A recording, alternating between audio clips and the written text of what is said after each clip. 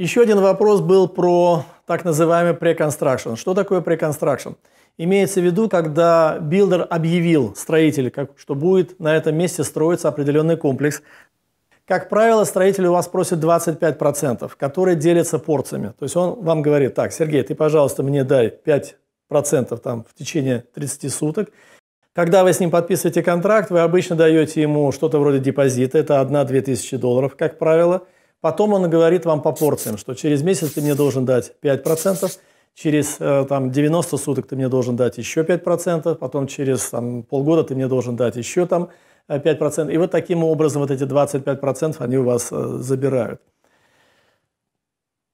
Почему идея Preconstruction была популярна? Дело в том, что вот за 16 лет в бизнесе у нас недвижимость всегда шла только вверх. Она у нас только всегда дорожала. И люди привыкли к тому, что если я сейчас вкладываю, допустим, builder начинает строить, он мне говорит, что квартира на сегодняшний день будет стоить, допустим, там 400 тысяч долларов. То есть он мне продает ее как бы в ценах сегодняшнего дня. Поэтому, если он будет ее строить год или два, к тому времени уже недвижимость будет стоить, там, допустим, 500 тысяч долларов.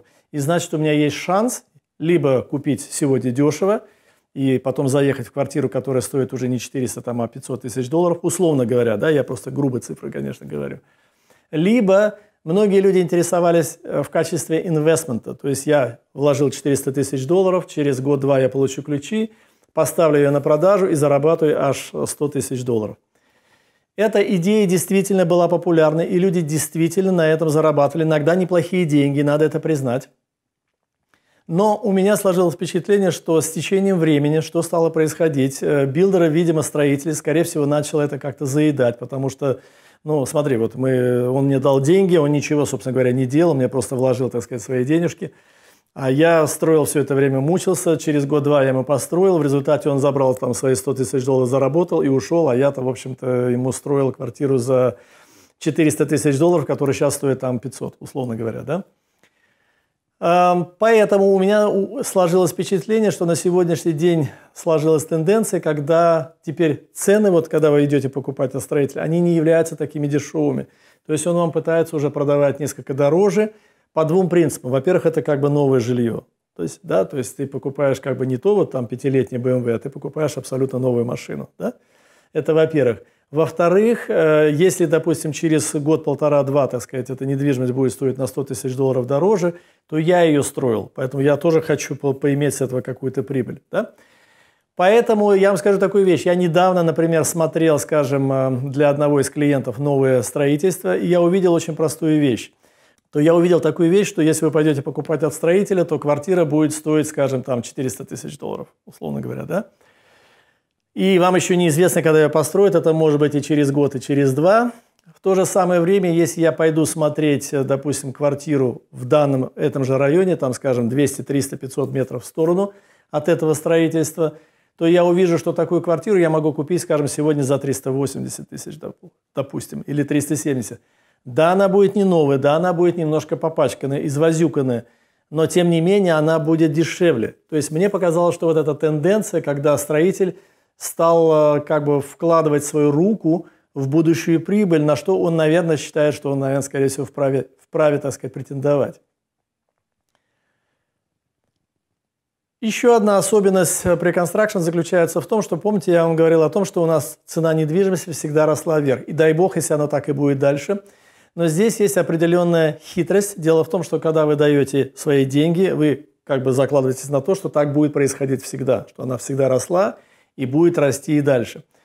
Если вы, допустим, вложили 400 тысяч долларов в расчете на то, что она будет через два года стоить, стоить 500 тысяч долларов, то что произойдет, если этого, э, если этого не случится?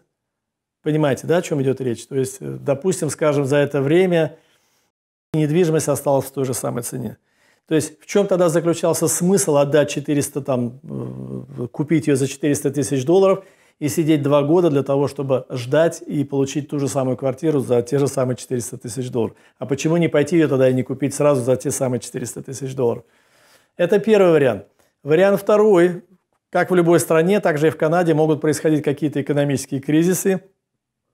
И не дай бог, Если то, что вы купили 400 тысяч долларов, через два года будет стоить, скажем, 350 тысяч долларов, тогда вы оказываетесь тем более в каком-то очень таком неприятном положении, да, то есть вы вложили больше денег, а в результате вы купили квартиру, которая этих 400 тысяч долларов не стоит. То есть, в общем, ничего веселого, как вы в этом понимаете, нет. То есть у меня нет никакой задачи вас напугать, абсолютно нет.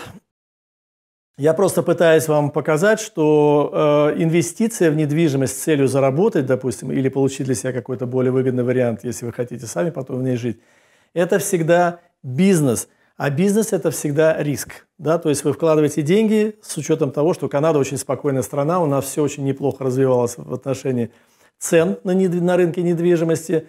Но, как вы понимаете, гарантировать э, вам никто этого не может. То есть, э, дай бог, если через два года она действительно будет стоить намного дороже. Я вам скажу такую вещь, что пару лет тому назад я покупал квартиру для одного клиента от э, человека, который вложил свое время, там, два года тому назад, э, деньги в строительство. Он получил ключи, и как только получил ключи, он выставил на рынок. Он стал на рынок, по-моему, за 450 тысяч, потом начал снижаться 430, потом 420. В результате мы ее купили что-то в районе 400 тысяч долларов. И когда я разговаривал с агентом, он мне клялся и божился, что его клиент не заработал на этом ни копейки – во что мне поверить совсем было несложно, я вам скажу почему. Дело в том, что когда вы в Канаде покупаете недвижимость, вы должны заплатить налог государству, и он довольно приличный. Это может быть и 5, и 10 тысяч долларов, и больше, в зависимости от того, что вы покупаете. Когда вы решили продавать свою недвижимость, вы должны будете заплатить риэлторам, да, то есть риэлторы не работают бесплатно, это будет какие-нибудь там 3,5-4, а то и 5% комиссии, да, потому что если вы продаете, вы когда покупаете, вы ничего не платите риэлтору. Когда вы продаете, вы платите и покупающему, и продающему риэлтору. А плюс вы должны будете заплатить, э, допустим, скажем, адвокатам за оформление сделки, плюс вы должны будете заплатить налог, если вы заработали на этом что-то.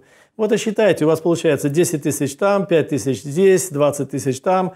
В результате, если, допустим, вы купили квартиру за 350 тысяч долларов, а продали за 400, то я не удивлюсь, что если ваша прибыль, она вот такая вот оказалась, или, в общем, не оказалась никакой совсем. Понимаете, это очень запросто может произойти.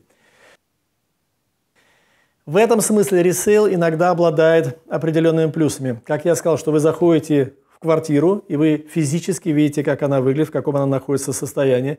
Вы можете совершенно отчетливо посмотреть в окно и увидеть, куда она смотрит, э, с какой стороны приходит солнце, куда оно и когда оно уходит. Да? То есть вы все это, все это можете разглядеть. Когда вы покупаете новое строительство, вы будете жить какое-то время в условиях стройки – это будет грохот, это будет стук, это будет грязь, пыль, да, и совершенно естественно. Я показываю такие квартиры довольно часто. Вы заходите, там лифт, он обит там какими-то деревянными досками, щитами, потому что пока все это находится в рабочем состоянии, строитель еще работает. Там бетонные полы не покрытые там этим э, ковровым э, покрытием ковролином. Э, там не отделаны стены, там в гараже куча мусора, пыль, грязь и так далее. Но это как бы совершенно естественно. Я строитель, поэтому я знаю, что это такое. И с этим вам надо будет тоже какое-то время мириться, это совершенно естественная вещь. Но э, тут надо сказать, что все когда-либо кончается, и, как правило, этот строительный период, он заканчивается довольно быстро, пройдет какие-нибудь, там, я не знаю, полгода-год, и все это, конечно, закончится, и все будет чистенько и аккуратненько.